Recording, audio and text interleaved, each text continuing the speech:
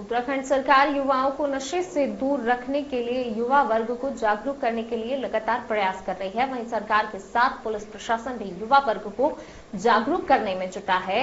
इसी क्रम में कोतवाली पुलिस ने स्कूली बच्चों के साथ रैली निकालकर नशे के विरुद्ध लोगों को जागरूक किया। इसी के साथ बाहरी व्यक्तियों के सत्यापन के लिए प्रोत्साहित भी किया गया। वहीं कोतवाली ने स्कूल के बच्चों के साथ कस्बा बाज़ार विकास नगर क्षेत्र में नशे के दुष्प्रभाव और नशा न करने के संबंध में प्रचार प्रसार किया। विकास नगर से राहुल सिंह रावत की रिपोर्ट। अभियान चल रहा है और इसी अभियान के तहत उत्तराखंड पुलिस है।